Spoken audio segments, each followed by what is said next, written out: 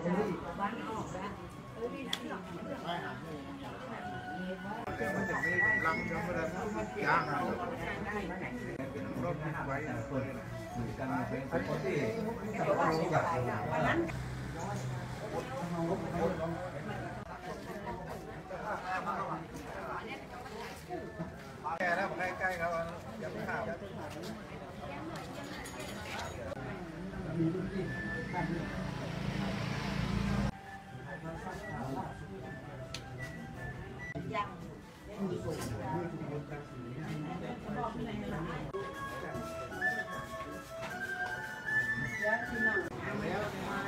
ับอย่าไปข้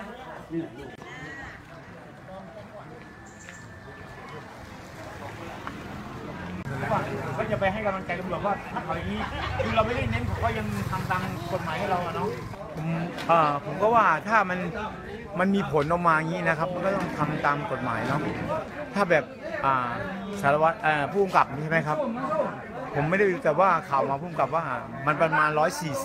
140 ผมก็ว่าถ้าอย่างนั้นพรุ่งนี้ไอ้วันวันเสียศพ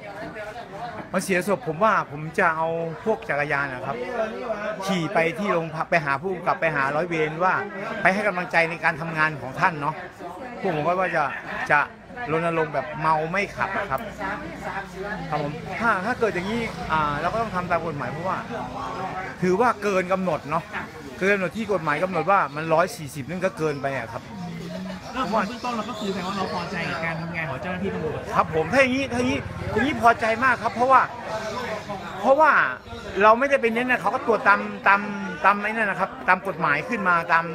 ตามลำดับเนาะ ผมก็ว่าใช้ได้ครับ อันนี้ผมก็ว่าวันอาทิตย์เนี่ยก่อนที่นั่นผมจะประมาณ9ก้าโมงผมก็จะปั่นจักรยาน ไปให้กำลังใจตำรวจครับแล้วก็มาที่โรงพักแล้วก็มาร่วมงานศพแล้วก็มาร่วมที่นี่ครับ เพราะวันวันวันวันอาทิตย์นะฮะครับผม